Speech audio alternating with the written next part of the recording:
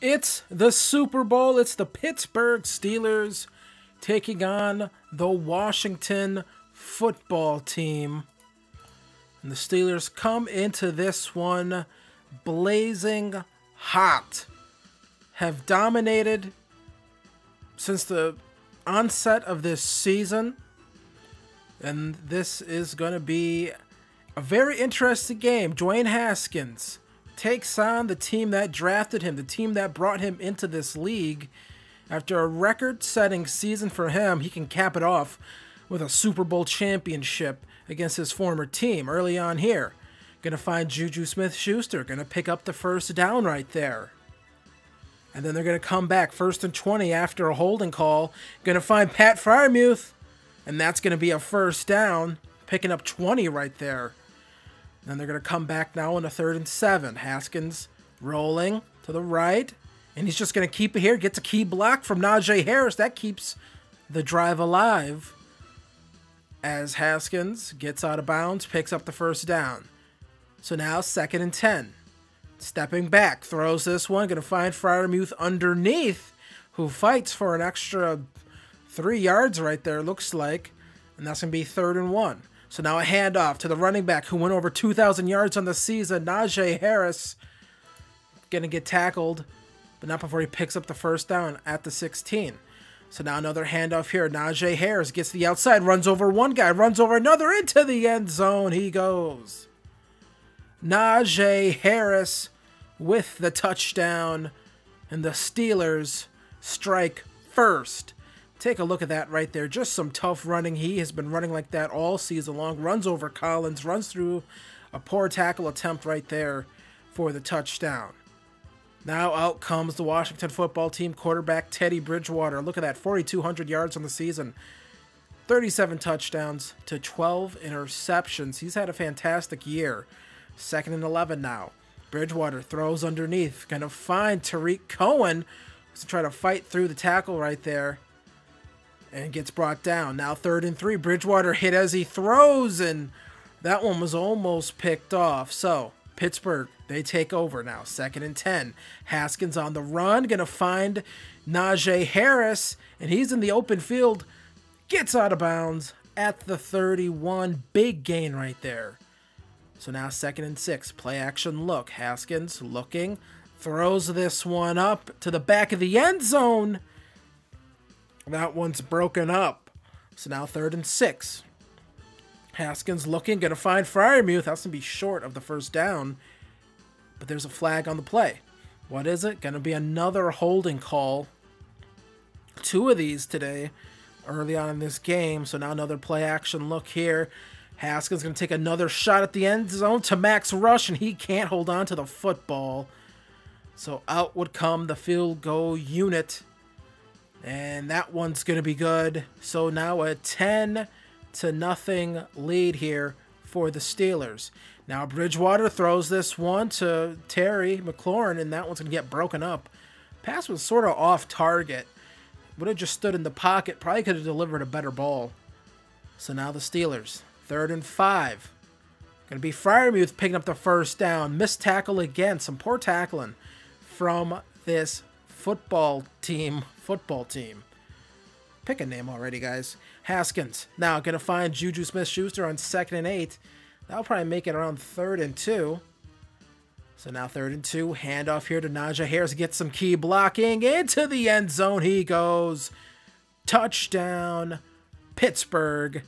Steelers now up 17 in this one. Once again, just good blocking here. Kendrick Green with a great block right there. And that's really what opened it up for him. Chase Claypool with another good block as well. Uh, that's what makes him so valuable at that slot position. He's usually one of the first lead blockers for Najee Harris, and he's very good at it. So now second and seven, and down goes Bridgewater. That'll make it third and very long. As just a just able to get around his man right there with Stephon Tuitt. And no one else was able to get open for Bridgewater. So now, offensive line kind of holds up. Bridgewater takes a shot to Terry McLaurin. And McLaurin comes down with that one at the 13. So now Bridgewater stepping back on the run here, and Tuitt gets another sack. He's getting to it in this one. Two sacks on the day. Second and 22 coming up now. So now second and 22. Bridgewater screen play. Gonna find Cohen. Not gonna pick up much, just gonna pick up a few yards right there. So now third and 17. Can't afford a sack here, and he gets sacked. Thankfully, he didn't drift too far back in the pocket. Fourth and 26. Going to be a somewhat long field goal, but very makeable. And that one's going to be good. And the football team, the Washington football team, not the one from Pittsburgh, the Washington one, gets on the board with three. Still down 17 to 3 here. Deep throw right here. Max Rush comes back to the football, keeps the feet in bounds. And that's going to be a first down here. Time winding down in the first half of the Super Bowl. So now Juju Smith Schuster, deep shot, comes down with it. Touchdown, Pittsburgh. They extend the lead even more. Juju Smith Schuster coming down with that one. Dwayne Haskins getting to work. So now, end of the quarter here. It's going to be Washington football team with a field goal to make it 24 to 6. Now we come back, third quarter, after the halftime show. And there's going to be a fumble. Brooks forces it. CJ Henderson picks it up, scoop, and score. Touchdown, Pittsburgh. And the blowout is on 31 to 6. Bridgewater going to need a big play right here. And he's going to get a big play because he's going to get sacked. TJ Watt comes up with the football, but the big play is going to be for the Steelers. Cam Heyward tweaked his shoulder a little bit. He'd stay in the game. It's now a screenplay here to Najee Harris. A few plays later, into the end zone goes Najee Harris. And he is just dominating here in this game. This is the Najee Harris game. Look at them, just put the shoulder down, running right through Fuller. Decides to just shove him off instead as he walks into the end zone. So now Teddy Bridgewater to throw one up here. This one is almost intercepted or caught. So now second and 10. Here it is. Bridgewater looking here. That one's just a little too high. Not sure why the running back was happy about that. So now here is another throw here underneath. Cohen can't do much with that one. Fourth and five. They'd have to punt the ball again. So Najee Harris gets to the outside, breaks one tackle, Open field. Still running, still going, finally out of bounds at the 29. And he has just really turned that sort of stuff on as we've gotten later in the season and throughout the playoffs. Here's here is Max Rush getting a pass there from Dwayne Haskins. Now first and goal, four yards to go. Spinning into the end zone is Najee Harris. And he's into the end zone again make it 45 to 6. Ran into a wall here, just sort of spins his way into the end zone. Let's take another look at that. Was running into the wall, decides to just spin back out. And there's the touchdown. And here is a big play right here. Tarik Cohen, wide open. Must have been a blown coverage. Someone forgot about the running back. And into the end zone goes to goes Tarik Cohen. So now third and two. Look at this second, third, fourth effort right there by Najee Harris. And he comes back again very next play, or at least a few plays later on third and goal. And that is his fourth rushing touchdown. And that, if I'm correct, that puts him in the first place for most individual rushing touchdowns in the history of the Super Bowl. So now 10 seconds left. Haskins, deep throw right here. Gonna find Max Rush, call a timeout because they want to get five for Najee Harris. So now first and goal. This will be the last play. In goes Najee Harris, and into the history books goes Najee Harris. Five rushing touchdowns on the day in this game. Just a dominating game for Najee Harris. He imposed his will onto this Washington football team in this one. And the final play of this game, first and 10, Brady Whit Teddy Bridgewater rolls to the left here, and it's going to be Cameron Heyward getting the sack. And that's almost fitting that the defense shuts it out. Seven sacks on the day for them. And the Steelers have done it. Another Lombardi trophy is coming back to Pittsburgh as the Steelers, in dominant fashion, defeat the Washington football team. Najee Harris has to be your Super Bowl MVP after this one. Dwayne Haskins, redemption for him. And it has to feel good doing it against the team that drafted him, the team that supposedly believed in him, the team that was going to build around him. He defeats in the Super Bowl with one of the most storied franchises in all of football, the Pittsburgh Steelers, Dwayne Haskins with the Lombardi Trophy. And what could be the start of a potential dynasty in Pittsburgh? So that was amazing. We win the Super Bowl, dominant fashion. Dwayne Haskins, 21 to 32, 310 yards, two touchdowns. And then Najee Harris, like I said before in the last video, I really wanted to dominate the game with Najee Harris, and we did that. 32 carries, 244 yards, five rushing touchdowns on the day, if I'm correct. Also had a receiving touchdown. Yes, he did. So six total touchdowns for Najee Harris. Juju Smith Schuster with a touchdown. You see here, really didn't throw the football too much. I mean, didn't really pass it out to too many guys. Chase Claypool didn't even have a reception in this game. Um, you know, not sure if that was by design, just didn't really work that way. And uh, we just had a really good matchup, I think. I think we couldn't... I think that was the best way for us to try to win this game with those edge rushers that they have over there in Washington. So, uh, TJ Watt, two and a half sacks. Stephon Tuitt, two and a half sacks. Cameron Heyward, one and a half sacks. Alex Highsmith got in for half a one as well. Um, yeah, just a really dominant game. You just see, look at the stats.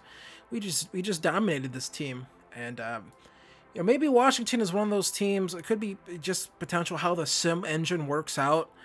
That in sim they're good, and uh, when it comes to maybe actually on the field, that it's uh, actually not as good. That that could be something that is possible. Wouldn't surprise me too much with Madden. So take a look here at the season stats. Dwayne Haskins, you already know his stats. An absolute mm, uh, monster season. 60 touchdowns to 8 interceptions. 63 uh, percentage percent completion percentage. That's always such a weird thing to say. Najee Harris, 2,000 yards. 26 touchdowns on the year for him. Absolutely amazing, dominant season for Najee Harris. Uh, Benny Snell was okay for us when we ran with him. Uh, take a look here at these receiving numbers. Najee Harris also had uh, six uh, receiving touchdowns, so I'm not sure if that's a record for most like individual touchdowns in this. I'm sure there's a record higher from like a position player, but uh, yeah, I don't really know if that's a record or not. Someone might have to tell me that uh, down below if that is a record. Um, so yeah, I take a look at receptions. We had guys under 100 receptions. Um, a couple guys uh, just a hair over 1,000 receiving yards. Um, you know, we threw the ball a lot for sure, but there was just times in the year, you know, that it just some day some games uh, we ran the ball a lot too. So I think just a well-oiled machine on offense we had. Uh, if we wanted to run the ball on you, we could run the ball on. If we wanted to throw it around, we could. Uh, here's the sack numbers. Cam Robinson surprisingly giving up the most sacks, but it makes sense. A lot of edge, a lot of top flight edge rushers, they're over there. You're, you're going to give up some sacks. So there's that. So we come back through here now. Some more defensive stats. Uh, Devin Bush led the way tackling for us on the season. And uh, that's pretty good for us. Would rather not see a, don't want to see a corner that high for sure. So that's good. TJ Watt, 29 and a half sacks. Now, if I'm correct, I think in real life, this would be a record. I don't know if it's a record in our franchise just because the way the sim engine works. Some guy might have gotten like 35 sacks or something along those lines. So there's that. Um, so I'm not 100% sure if that's a record, but either way, 29 from TJ. Uh, Cam Heyward with 15. Tuitt with 14.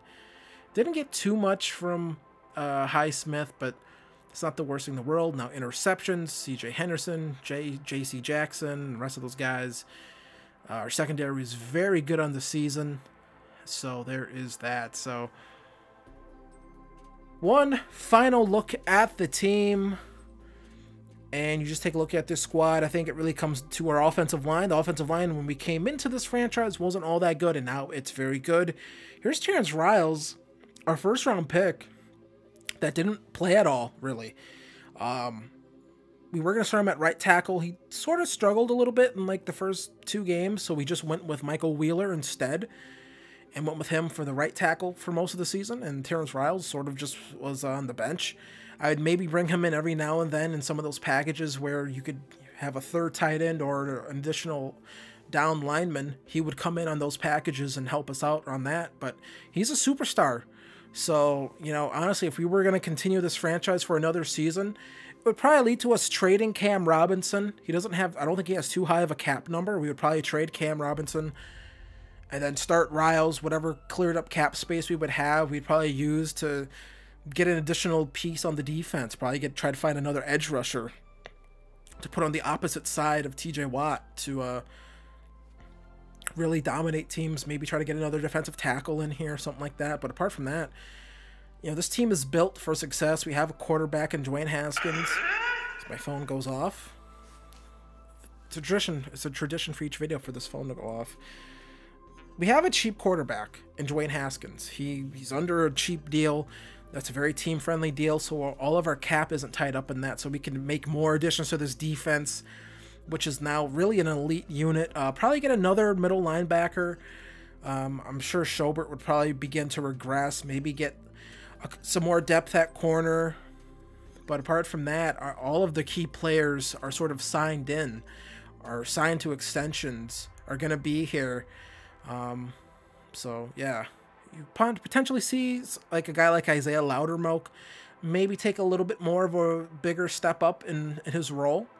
Um, if we were going to do a third season, but we are not going to do a third season because if we do, I'll probably just go 16 and 0 and blow everyone out again, and that's not fun. It's just not. So we are not going to continue this franchise. Najee Harris, a beast has been the real breakout of this franchise, just a monster. So, this is it. This is the final episode of Steelers franchise. And I want to thank you guys. This franchise has marked a lot of really good uh, things for this channel.